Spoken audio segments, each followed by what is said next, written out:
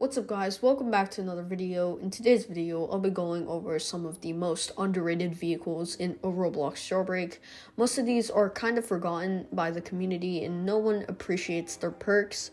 Before we start guys, Burley giveaway will be hosted at 5,000 subscribers, so make sure to subscribe if you haven't already. Like the video, let's try to 250 likes. First up is the Snake. This vehicle released in the July 2022 update and was available to purchase for about a week or so and went limited.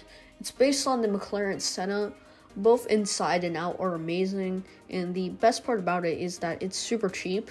This is probably one of, if not the most, uh, the best starter limited vehicle.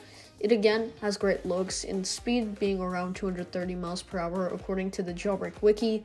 Overall, highly underrated, and to be honest, I'm hoping it stays this way so it'll be cheap and people can get it easier. Anyways, next we have the Stallion.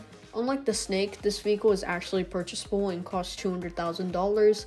It's based on the Ferrari 458 Italia, and the looks are a bit outdated, but that's not what's good about this car. What's good about it is its speed.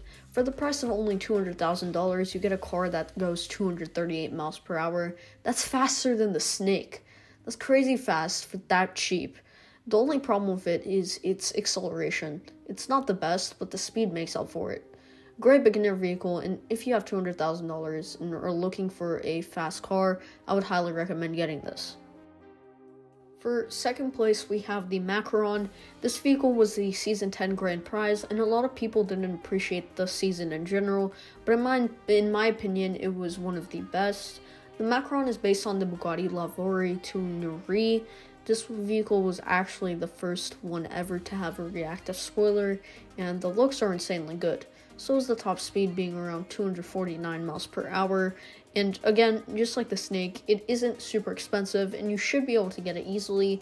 At the moment, only costing gold in some small ads. Finally, first place goes to the MCL 36. It came out over a year ago actually, and it's the only F1 car in jailbreak. The exterior and interior are decent, but the top speed is phenomenal. It used to go 300 plus miles per hour, but unfortunately got nerfed, so now it goes 264 miles per hour, which is still amazing. If this vehicle was actually tradable, I'm assuming it would have decent value to it. But yeah, that's pretty much it for today's video. Let me know in the comments which vehicle you think is the most underrated and why. Hope you enjoyed. If you did or found this useful, make sure to subscribe. YouTube suggests this video to watch next. Check it out.